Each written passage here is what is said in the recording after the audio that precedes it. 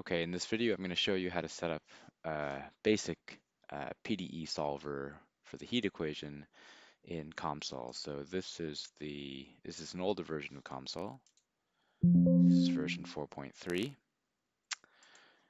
Uh, so the first thing you do is you go to File, New.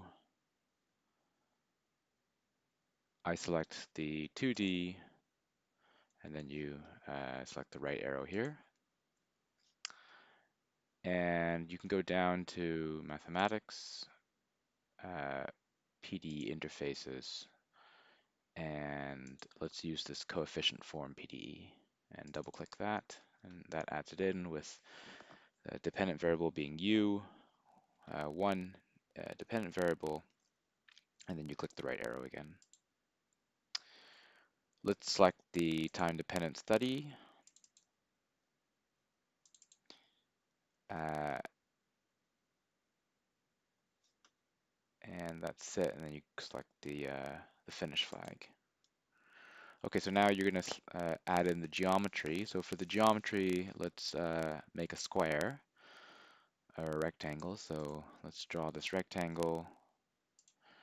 You can just draw a random rectangle, and then you can go and select it afterwards and adjust the dimensions. So let's put the position at 0, 0, put a width of 2 and a height of 1.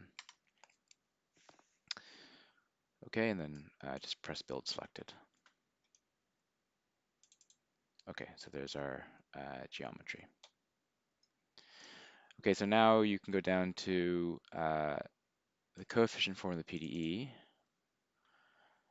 Uh, this is using the domain 1 here, and you can see the general PDE form here, and list. Uh, this is just set up to do a regular heat equation. So you can see uh, isotropic. You can see that it's basically just uh, du dt times dA, which is 1, minus uh, 1 times uxx. And just for simplicity, let's set everything else to be 0. I think in, you can put in uh, th these don't, it doesn't have to be constant coefficients.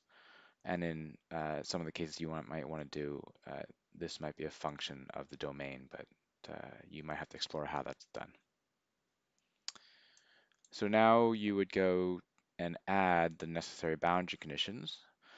So uh, you can see that it's currently set up to be zero flux conditions on all four boundaries, but we're going to overwrite that in a second. And then the initial value just set to zero and zero for the uh, solution and its uh, time derivative. So you right click this coefficient and then you add in, uh, let's add a Dirichlet boundary condition on the bottom boundary. You can select the bottom boundary and add it in. So this is bottom boundary two. And then let's just prescribe the Dirichlet condition to be, uh, so uh, uh, just one. And you can always select this equation and see what uh, that has to correspond to. Uh, okay, right click it again. Let's add in periodicity conditions on the first and second side boundaries. So shift select, and then you can add that in here.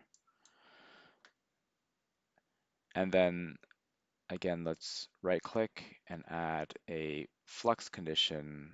So this would impose uh, like du, d, du dy on the top boundary is equal to g. So let's set that to be just a constant input of 1 on the top boundary. Select top boundary and add that in. Okay, now if I go back to the zero flux condition, you can see that uh, one boundaries 2 and 3 have been overwritten. 1 and 4 correspond to the periodic boundary conditions, and I'm not entirely sure um, why this condition doesn't seem to overwrite 1 and 4, but let's just leave that. I think You can probably remove this, or you might be able to remove 1 and 4 here. Does that work? I can't remove it here.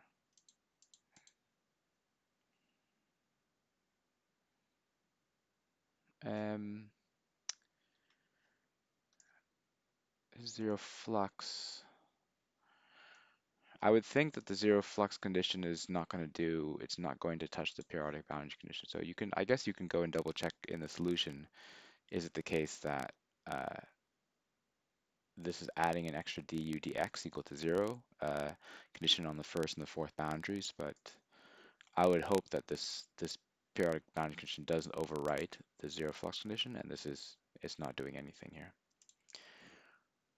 Okay, so I've set the four boundary conditions. I have my initial condition. Um, I can also go to geometry here, and I'm just going to add in a point, right click, add in a point, and let's just add a point in at the value 1 and 0, and build selected, uh, let's add uh, 1 and 0.5 instead because I would like to measure the temperature at that point and plot it in a, in a minute. So I'm just adding that extra point in. Okay, so now if I, before I press the study, uh, I'm going to add in some plots. Or rather, let's just do the study first and then we'll see what extra plots we can get from the results. So I, you can, if you click your mesh here, um, you can just press this build all button and that should just uh, produce the finite element mesh. And then if you go to study here, uh, you can see that you can specify a range of times. So let's go from, let's say, one to two uh, seconds or uh, units. And then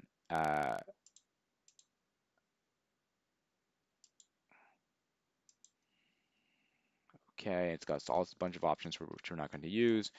And then now I think if I just press compute here at the top, I go to study one and then press compute here, it'll do the computation and there we are. Now this plot looks like the temperature U uh, along the horizontal domain and the vertical domain uh, at time t is equal to 2 it would be nice to be able to plot a video of this, but I haven't quite figured out how to do that. So instead, I'm just going to add a 1D plot. So I'd like to see what the evolution looks like. So I'm going to add a 1D plot. Um, I got that by right-clicking results. And then if I right-click 1D plot again, I can add a point graph. And in this point graph, I can select the uh,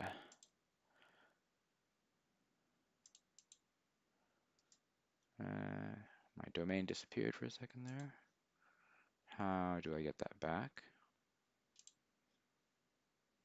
Hmm. Okay, so, oh, okay, I just click. So click the point graph one here, click the selection menu, and then um, if I click this point here, or right, let's do all points.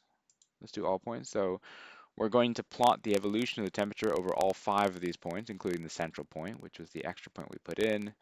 You're going to plot u on the y-axis, and on the horizontal axis, you'll plot the time. And then if I now press the plot, there we are. So uh, there's no legend. I'm guessing that um, I'm guessing that the values at some of the points might be lying on top of each other, so that's why you only see a few curves here.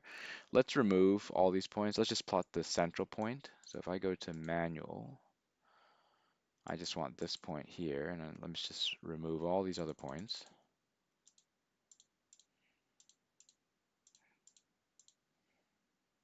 Add the central point here, and then press the plot button again, and there we are. So I suppose our solution was starting from zero at uh, u is equal to zero at time t is equal to zero, and then the source condition at the very top is causing the temperature to increase uh, to increase as time increases. Okay. Um, and I think so for you know for your for when you're doing this kind of simulation and you'd like to plot output, it may be easier to work with tables, to ask uh, COMSOL to export tables, uh, for example, tables of u of x and y in time, and then to plot them using MATLAB or some uh, other programming language that uh, where you can more easily manipulate the quantities. All right, that's it.